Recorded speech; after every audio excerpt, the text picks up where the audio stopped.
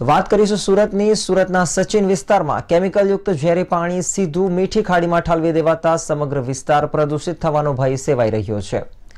સ્થાનિક લોકોની અનેક ફરિયાદ બાદ પ્રદૂષણ કંટ્રોલ બોર્ડના અધિકારીઓ દ્વારા લેવાયેલા સેમ્પલનો રિપોર્ટ પણ ચોંકાવનારો હોવા છતાં હજી સુધી કોઈ પગલાં લેવાતા નથી અને ભ્રષ્ટાચાર તો હોવાની પણ રાવ ઉઠવા પામી છે.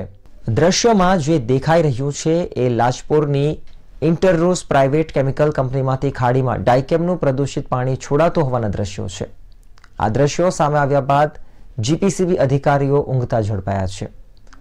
ડાયકેમ કેમિકલયુક્ત પાણી લાજપોર, કનકપુર, કંસાડની ખાડીમાં છોડાતો હોવાની ફરિયાદ બાદ જીપીસીબીના અધિકારીઓ દોડતા થયા છે.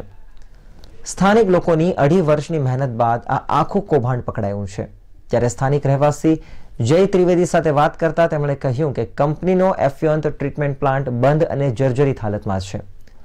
દોઢ વર્ષમાં ત્રણ ફરિયાદ કરતા ત્રીજી ફરિયાદમાં જીપીસીબીના અધિકારીઓએ સ્થળ વિઝિટ કરી વિડીયોગ્રાફીમાં પાણીના સેમ્પલ લીધા છે. કેમિકલ કંપનીમાંથી લેવાયેલા સેમ્પલનો રિપોર્ટ પણ ચોંકાવનારો આવતા સમગ્ર વિસ્તારમાં ભયનો માહોલ ફેલાયો છે.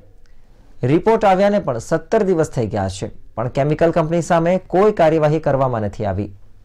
નિયમ મુજબ, સીડીમાંના કન્સર્ન મુજબ સીઓડી સો મિલીગ્રામ પર લીટરે હોવું જોઈએ. એના બદલે રિપોર્ટમાં ત્રણસો પચાસ આવ્યું છે.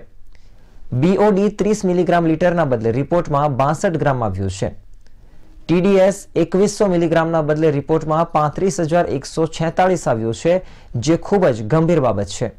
છતાં પણ સેન્ટ્રલ પોલ્યુશન કંટ્રોલ બોર્ડ સહિતના આખા વિભાગ દ્વારા કોઈ કાર્યવાહી નથી કરાઈ. ત્યારે સ્થાનિકોમાં હવે અધિકારીઓ અને સત્તાધીશોએ કંપની સાથે સાંઠગાંઠ કરી લીધી હોવાની ચર્ચા ચાલી રહી છે. નમસ્કાર. મારું નામ અજય ત્રિવેદી, કનકપુર સચિનથી.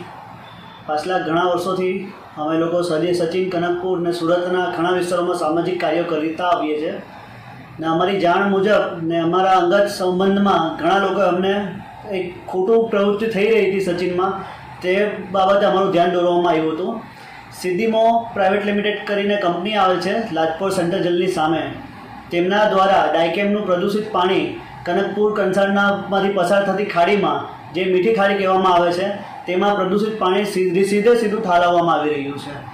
જેના બાબતે અમે જીપીસીપીને જાણ કરી હતી, ઘણા કલેક્ટર ઓફિસે જાણ કરી, સેન્ટ્રલ પોલ્યુશન કંટ્રોલ બોર્ડમાં જાણ કરી હતી. જે બાબતે જીપીસીપી દ્વારા સેમ્પલિંગ કરવામાં આવ્યું હતું, અમારે સાથે રાખીને એમને નિરીક્ષણમાં અમે લોકો પણ સેમ્પલિંગ કર્યું હતું, જેના રિપોર્ટ જીપીસીપીના ઘણા ચોંકાવનારા આવ્યા છે. જેમની કન્સર્ન પ્રમાણે, જે સિદ્ધિમો કંપનીને કન્સર્ન આપી છે એ પ્રમાણે એનાથી પાંચથી દસ ગણા રિકો રિપોર્ટ આવ્યા છે ચોંકાવનારા આવ્યા છે ને એમના વિરુદ્ધમાં આવ્યા છે.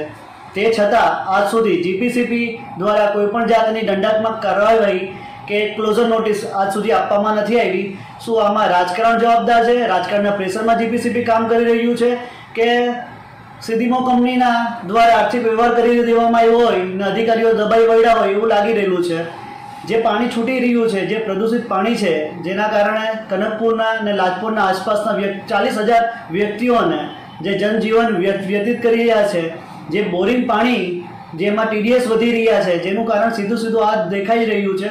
આ પ્રદૂષિત પાણીના લીધે ગ્રાઉન્ડ વોટરનું પણ પાણી ખરાબ થઈ રહ્યું છે.